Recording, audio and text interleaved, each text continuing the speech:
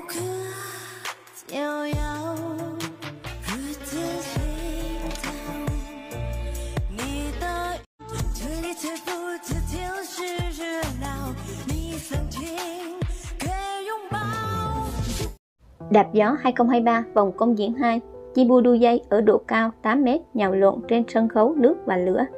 Ở tập mới nhất của Đạp gió 2023, Chibu cùng đội Cung Lâm Na và Lưu Nhà Sắc họ nhận được số điểm cao khi biểu diễn ca khúc Rosemary. Ngày 27 tháng 5, tập tiếp theo của Đạp gió 2023 chính thức lên sóng vòng công diễn 2. Tập này, các tiết mục còn lại của vòng công diễn bao gồm đội Chibu chính thức được ra mắt. Ở vòng đấu trước đó, xét theo số phiếu cá nhân, Chibu đứng thứ 7 trong tổng số 33 tỷ tỷ. Cô nhận được 112 phiếu, trở thành đội trưởng ở vòng công diễn 2 và cùng đội Cung Lâm Na, Lưu Nhã Sắc. Khi trò chuyện với nghệ sĩ gạo cội Cung Lâm Na, Chibu tâm sự cô yêu cảm giác đứng trên sân khấu và rất thoải mái khi đến với Đạp Gió 2023 bởi mọi người nơi đây không biết cô là ai. Họ cũng không hề biết một người trên Internet nói gì về Chibu.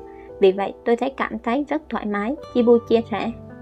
Đáp lại, Cung Lâm Na khuyên đàn em hãy vui vẻ và giữ năng lượng tích cực, như vậy Chibu sẽ học được mọi thứ một cách nhanh chóng hơn. Với tiết mục ở vòng công diễn 2, Chibu cho biết cô muốn có được số điểm cao cho cả đội.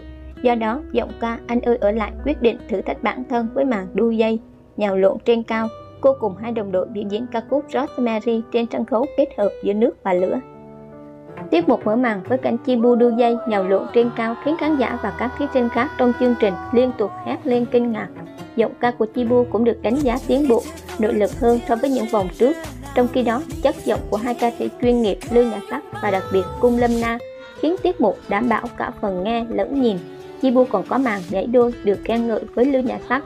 Tổng thể tiết mục được dàn dựng công phu, có cốt truyện rõ ràng.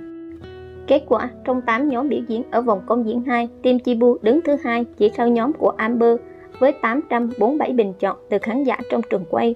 Từ những vòng đầu tiên của Đạp Gió 2023, Chibu luôn giữ thứ hạng cao ở cả phần trình diễn nhóm lẫn cá nhân.